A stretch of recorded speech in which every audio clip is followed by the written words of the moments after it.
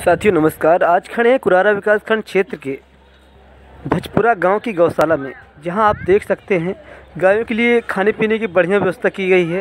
हाँ, बस थोड़ी सी लापरवाही ये देखने को मिली है कि एक या दो जानवर गौशाला में ही मरे पड़े हैं उन्हें फेंका नहीं गया है। आप देख सकते हैं